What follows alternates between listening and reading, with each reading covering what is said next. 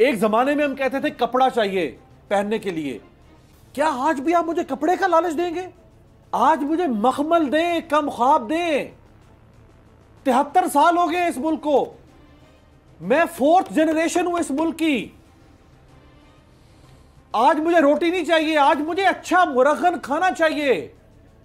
आज मुझे बेहतर न्यूट्रिशियस खाना चाहिए। मुझे ये मत लारे दे कि मैं रोटी भिगो भिगो के रोटी खा लूँ। मुझे अच्छा घर चाहिए मुझे लाइफस्टाइल चाहिए मुझे क्वालिटी ऑफ़ लाइफ चाहिए मेरा राइट है। मेरा पेटेंट राइट है कि मैं क्वालिटी ऑफ़ लाइफ का रियासत से मुतालबा करूँ। और अगर जो इसके रास्ते में रुकावट खड़ी करेगा मैं उसको अपना दुश्मन से सबर करूँगा।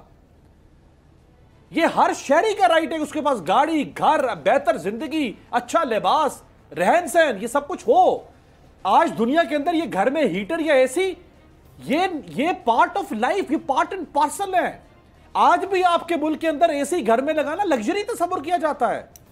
आज भी सर्दियों में लोग ठिठर के मर रहे होते हैं। अब जरा देहातों की ज़िंदगी तो जाके देखे हमने तो देखी है वो ज़िंदगी। एक ही कमरे के अंदर लोग हम्म। एक ही कमरे के अंदर लोग आग जलाते हैं उस कमरे में लोग अपने जानवरों को बांधते हैं। सलमान ताकि उस कमरे में जानवरों की हीट से वो अपनी रात गुजार सके। वो बकरियाँ बांधते हैं वहीं पर सोते हैं। ताकि बकरी की बॉडी हीट से उनको सुकून मिल सके। आज आप कहते हैं, मैं घर पे हीटर ना लगाऊँ, ये लग्जरी है? अगर ये लग्जरी है तो लानत है उस नेसेसिटी के ऊपर, जिस नेसेसिटी की डेफिनेशन ये रियासत कर रही है। सोच को इवॉल्व करने की ज़रूरत है हमें। अच्छा मैं मैं यहाँ पर दो तीन चीज़ों के ऊपर बात करना चाहूँगा। सबसे पहले तो यह है कि अगर कोई शख्स हामी है वेलफेयर स्टेट का तो मेरे ख्याल में इमरान खान साहब के जो प्रोजेक्ट है ना, एहसास प्रोग्राम और भूखे लोगों को खाना खिलाने वाला प्रोग्राम उससे अच्छे वेलफेयर प्रोजेक्ट्स नहीं हो सकते। तो फिर सबसे पहले तो उनकी तारीफ़ बनती है जो कि करनी चाहिए किसी भी वाइज आदमी को ठीक है? और उसके बाद अगर यही करवाना है तो फिर ये भी सारा खान साहब के जिम्मे लगा दिया जाए कि जितनी लग्जरीज है उनको कंफर्ट में और नेसेसिटीज में बदल कर पाकिस्तान को नया पाकिस्तान दे दें। तो मेरे ख्याल में कुछ चीज़ें प्रैक्टिकली पॉसिबल नहीं होती हैं उनको पॉसिबल तो करने के लिए एक सेकंड एक सेकंड एक सेकंड तो मुतालबा कर नहीं एक सेकंड सलमान। ये तो मुतालबा नहीं कर रहा ना। अच्छा दूसरी दूसरी इंपॉर्टेंट बात ये है कि इकोनॉमिक्स जो है ना इकोनॉमिक्स वो जज्बात के ऊपर नहीं चलती। इकोनॉमिक्स बड़े स्टैंडर्ड स्टैंडर्डाइज किस्म के फैक्ट्स एंड स्टैटिस्टिक्स के ऊपर चलती है। और अगर जज्बात के ऊपर चलती होती तो पाकिस्तान 1973 के अंदर ही पता नहीं क्या बन चुका होता। ये दुनिया में हो रहा है ना। अच्छा गाड़ियाँ लोगों को ज़ीरो परसेंट मार्कअप में मिल रही है ना। मार्कअप बैंक, से मिलेगी ना। बैंक से मिलेगी ना। एक बंदा यही इकोनॉमिस्ट से पूछ रहे हैं आपको जवाब मिल जाएगा अभी। आप अगर एक टैक्स दे रहे हैं आप टैक्स पेयर हैं आपको आप अपनी तनख्वाह से भी टैक्स दे रहे हैं। आप मार्केट से कुछ लेने जाते हैं तो टैक्स दे रहे हैं आप सुई से लेके एक जहाज़ के टिकट तक का हर चीज़ का टैक्स दे रहे हैं। ये तो ये चीज़ ये चीज़। ये आपके डायमेंशन तो बढ़ेंगे ना यार। टू बी वेरी ऑनेस्ट आप फिर एक कमरे में आग जला के नहीं सोना पसंद करेंगे अगर आप हर चीज़ पर टैक्स दे रहे हैं। और जब वो टैक्स यूटिलाइज होना दैट्स द बेसिक पॉइंट ये किसकी ज़िम्मेदारी है कि टैक्स को सही यूटिलाइज करें? यही यही तो पॉइंट है। मसला सारा मसला सारा ये है कि हमारे यहाँ जो अवाम का रियासत के ऊपर ट्रस्ट है ना वो ट्रस्ट खत्म हो चुका है। उस ट्रस्ट खत्म होने की रीजन ये है कि लोग टैक्स देने की बजाय किसी वेलफेयर इदारे या फलाही इदारे को पैसे देना ज़्यादा प्रेफर करते हैं। वो सैलानी वेलफेयर को छिपा को या किसी अननोन किस्म की वेलफेयर ऑर्गेनाइजेशन को पैसा देना ज़्यादा प्रेफर करता है क्योंकि उसको पता है कि कम से कम खाने खाने वाले लोगों को पैसा लग तो जाएगा।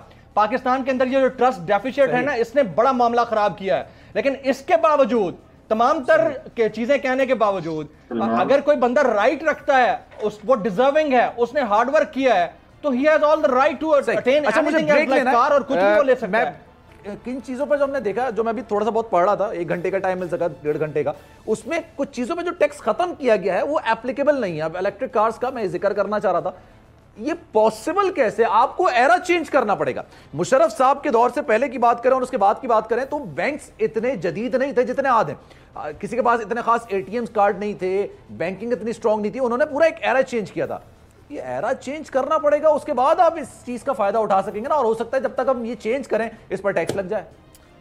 सलमान, वो इसमें ऐसा नहीं है कि जो इलेक्ट्रिक व्हीकल्स होंगे अगर वो आप बैंक से फाइनेंस करवाना चाहते हैं तो आपको इंटरेस्ट फ्री गाड़ियाँ मिलेंगी।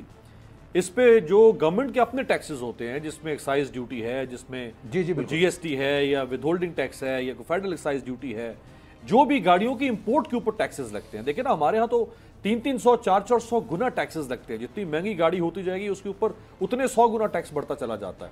यानी अब एक एक ये भी बहुत बहुत बड़ा तमाशा है। जैसे पहले आरिफ साहब फरमा रहे हैं पाकिस्तान में जो गाड़ी बारह चौदह लाख रुपए में या पंद्रह लाख रुपए में मिलती है दुनिया में तो इस तरह की गाड़ी अगर कोई प्लांट बनाने की ज़रूरत करेगा उस प्लांट को उसी रात बुलडोज कर दिया जाएगा।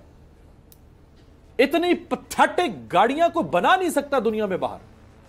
लेकिन ये कौम इनको उल्लू के पट्टे समझ के इस कौम को बेवकूफ़ बना रहे हैं। ये चार पाँच हैं यहाँ पे, ये सुजुकी टोयोटा होंडा मुझे तो नाम देने में भी कोई हिचकिचाहट नहीं है। इनको सारी दुनिया में, ये पाकिस्तानी कौम बेवकूफ़ मिली है ना? हालाँकि यही वो तीन चार कंपनीज़ हैं कि जो दुनिया में बड़ी ऑटो प्रोड्यूसर्स में से है ना ऑटो व्हीकल्स में।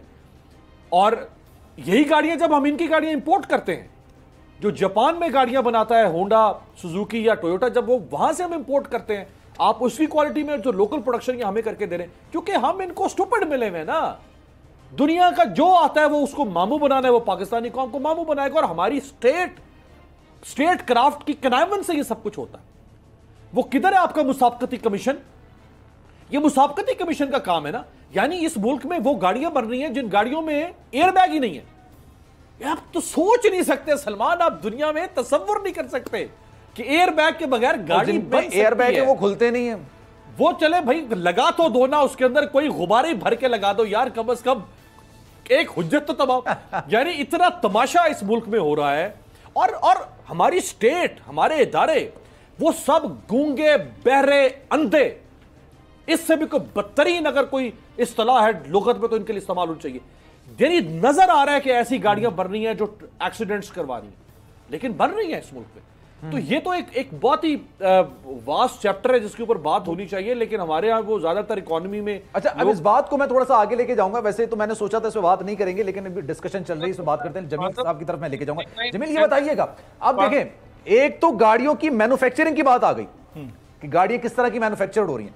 आप गाड़ी निकलवाने जाए आपको मतलब आप जो ना लोहे के चने चबाने के हिसाब से है। आपको डायरेक्ट डीलर के बगैर गाड़ी नहीं मिल सकती। इनके ऑथराइज डीलर्स हैं और उनके पास जाएगी। हम जब हुकूमत की कारकर्दगी की बात करते हैं मिडल जो मामला है कि जो सेलर है और बायर है, इसके बीच में जो मिडल आता है, इसकी सबसे बड़ी मिसाल यह है, कोई भी कंपनी हो, उसके ऑथराइज डीलर्स हैं। आप जाएँ ऑथराइज डीलर से गाड़ी खरीदें। अब अगर वो कीमतें कम भी करेंगे ऑथराइज डीलर नहीं कम करेंगे, क्योंकि उनके पास 200 लोग पीछे खड़े हैं गाड़ी खरीदने के लिए। जमील साहब की इजाज़त से सलमान एक कमेंट देखिए ऑथोराइज डीलर से गाड़ी लेना तो यार उसमें तो कोई कबात नहीं हो सकती है। ओन ये ये इतना बड़ा धंधा इस मुल्क तो में इतना तो बड़ा बदमाशी ये तो रस्सागिरी है। ये दुनिया में कहीं नहीं है कि ओन गाड़ी के ऊपर वो भी चार चार लाख। सर अच्छा, वही तो ओन खड़ा करते हैं। और कौन खड़ा करेगा? कंपनी थोड़ी कीमत बढ़ाती। सलमान सलमान जिस तरह अभी आपने ब्रेक से वापस आने के बाद एक कमेंट किया था कि कारकर्दगी सिफर बटा सिफर। तो सिफर बटा सिफर अगर आप टर्मिनोलॉजी को मैथमेटिक्स की लैंग्वेज में ट्रांसलेट करें सिफर बटा सिफर को तो सिफर बटा सिफर इज़ इक्वल टू वन होता है। याद रखिएगा। वन एक बटा एक इज़ इक्वल टू वन सिफर बटा सिफर is equal to one hundred बटा hundred is equal to one ये मैथमेटिक्स की लैंग्वेज है। तो जो इस लैंग्वेज अच्छा। को समझते हैं ना वो अंडरस्टैंड है सर ये बताइए। अरे सुन तो लेना मैं पॉइंट जो कह रहा हूँ वो अंडरस्टैंड कीजिएगा इसको। अच्छा चला यानी सिफर बटा सिफर इज़ इक्वल टू वन यानी वन हंड्रेड परसेंट परफॉर्मेंस को शो करता है। याद रखिएगा इसकी टर्मिनोलॉजी है। ये स्टैट्स की टर्मिनोलॉजी है हमारे यहाँ। ये गलत अच्छा। इस्तेमाल होती है कि सिफर बटा सिफर का मतलब सिफर है ऐसा नहीं है। सिफर बटा सिफर का मतलब एक है। इसी इसी तरह से हर लेमैन हमारे अंदर मौजूद हर लेमैन वो चाहता है कि जो वो कह रहा है वो शायद उसकी नज़र में दुरुस्त है। हालाँकि जो आपके पास एक्सप्रेशन होते हैं एक्सप्रेशन एज ए ले मैन वो ये कह रहे होते हैं क्लेम कर रहे होते हैं कि आप हम्म। बेहतर इसमें से रिज़ल्ट चाह रहे हैं लेकिन वो जो टेक्निकल टर्मिनोलॉजी जानने वाला बंदा होता है ना वो उसको रियलाइज़ करता है कि इसका एक्चुअल हम्म। मतलब क्या है इसी तरह से यहाँ जहाँ जहाँ टैक्सेस में छूट दी गई है जो इकोनॉमिस्ट है ना वो सही तरह से आपको बताएगा कि ये छूट जो देने वाले हैं ये जो टारगेट सेट किए गए हैं ये दुरुस्त हैं या गलत हैं इसी तरह से जो कंपनियाँ बनाकर बैठ रही है ना, उनको पता है कि टैक्सेस में छूट दी भी गई है तो उन्होंने खांचा कहाँ से मारना है? उनको पता है कि ओन के अंदर कहाँ पर बढ़ोतरी करनी है। उन्हें पता है कि डिमांड और सप्लाई के फैक्टर को मद्देनजर रखते हुए कहाँ चीज़ों को कम कर देना है, ताकि टैक्सेस में छूट मिली भी है तो पैसा बढ़ जाए। तो ये आप और हमारे जो डिस्कशन का महवर है ना, वो डिस्कशन का महवर एक्चुअलिटी से हट कर है। हम अगर बेसिक टर्मिनोलॉजीज के ऊपर जाए ना, अभी हमारे साथ बैठे हैं दो इंपॉर्टेंट हमारे गेस्ट आरिफ साहब भी और शुमाइल दाऊद साहब से भी, इनसे पूछ लीजिए कि सिफर बटा सिफर का मतलब स्टैटिस्टिक्स में या मैथमेटिक्स में क्या होता है। तो ये आपको बता देंगे। ये ये भी बता देंगे कि एक्चुअली हमारे लोगों का एशियन कंट्रीज़ के अंदर मौजूद लोगों का सबसे बड़ा मसला यह है कि we do have lot many things in mind